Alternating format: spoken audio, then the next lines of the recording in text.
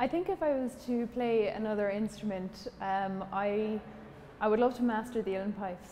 It's something that I've actually attempted briefly while I was in college at UCC when I was given the opportunity to do it for free. But uh, it's not easy to come by a set of pipes. So it's definitely something I would love to pursue um, and master them. But I think it's probably a lifelong thing, so I'm probably too late already.